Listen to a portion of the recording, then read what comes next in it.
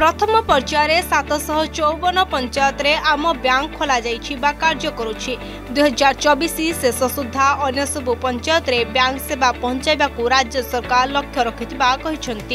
bank পাই সবু ভিত্তিভূমি যোগাই দেবার ব্যবস্থা করেছেন রাজ্য সরকার তবে নির্বাচনের ঠিক পূর্বর আরম্ভ হয়েছিল এই ব্যাঙ্কিং স্কিম দীর্ঘকালীন ভাবে কেতেদূর লোক সেবা যোগাই পারুছি তাকে সৃষ্টি হয়েছে প্রশ্নবাচী